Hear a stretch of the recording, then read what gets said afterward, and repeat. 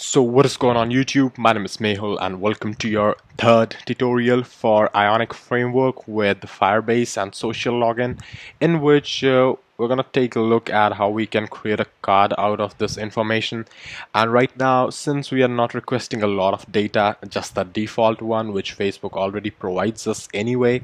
So we're gonna stick with the display name and the image URL and probably the email address as well if the user provides it. So what we're gonna do is uh, head over to the UI components and uh, let's just take a look if we can see some cards here right? So we can um, see that we have got some nice cards in here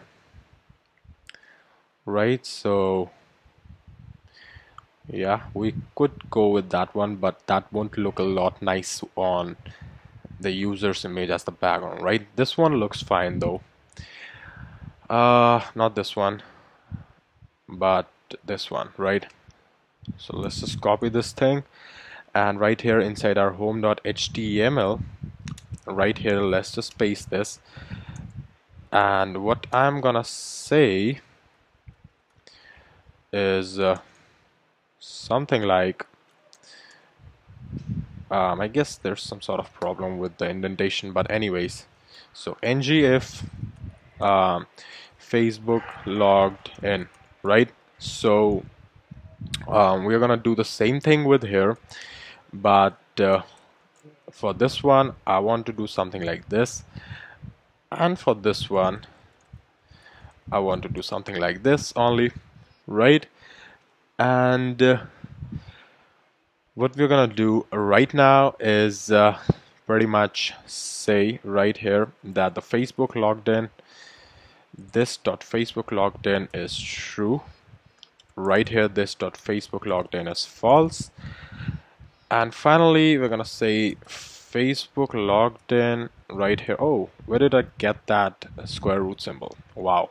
That's option plus V if anyone is guessing right? So Facebook logged in is false by default. And yeah so I'm assuming that nobody has the Facebook logged in by default which is pretty much a good assumption anyhow. So yeah that should do the job. But now what I want is uh, the uh, Facebook dot name. Right? And let's why not just create an object? Because that would create if we do individual uh, naming that would create a hell lot of mess. Facebook is an object. Login.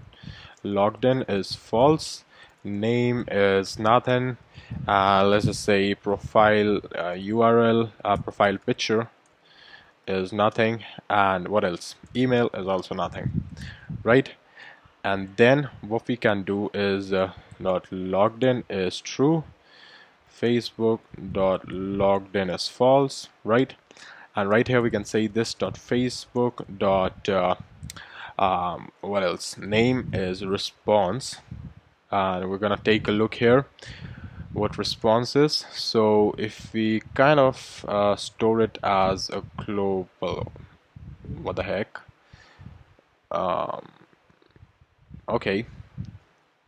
So if we take a look anyhow we would be able to see that response dot user gets us to the users information and uh, the name is uh, inside display name. This dot facebook dot email is response dot user dot email and this dot facebook dot uh, uh, profile picture is uh, what we have in here. Profile picture is a response dot user dot photo url fair enough. And uh, we can again replace it like facebook dot profile picture. And uh, right here if we take a look in our card what we have the name here and these three buttons as well but uh, we do not have those right now. So what we can do is I can just do it right right here. Text align center why the heck not and I'm gonna say facebook dot email and uh, yeah that should probably work. Uh, let's just take a look. So if I reload this thing I log in with Facebook. I get my response back. Okay so um, what is going on here? Facebook log oh okay so we have a problem here. This uh, Facebook dot logged in right? I forgot to update things here. And there we go right? Let's just reload one more time log in with Facebook get us back and uh, uh, okay okay okay come on. Well facebook dot logged in right? This dot facebook dot logged in is true. Uh, we are using arrow functions so this should probably point to the correct one? Okay so we have got it. I guess I would need some sort of loader or something right here um, while it's uh, processing it right? So we have got a low quality image here. I'm sure we could probably request it as well from Facebook somewhere. Um, the dimensions console.log uh, we can just console.log the response anyhow. And uh, we could have our also logged out of Facebook anyways. So again let's just log in one last time. Uh, let's just wait a little. We got the user. And I'm not sure what's taking a lot of time to actually put this thing. Well we do have the user right so why the hell does it take a lot of time to actually uh, reflect the changes? I'm not really sure. But anyways, I'll try to figure that out later on. But anyhow, it works. And this time it worked quite fast, I guess. But anyways, might be my internet connection.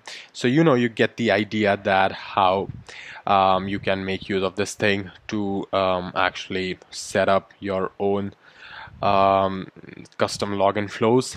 And yeah that's all for this one. And in the next one we're going to take a look at how to implement um, let's just say Google login with the same um, flow and interface. So that's all for this one. And if you liked it then please don't forget to subscribe. And thank you for watching. I'll see you then in the next one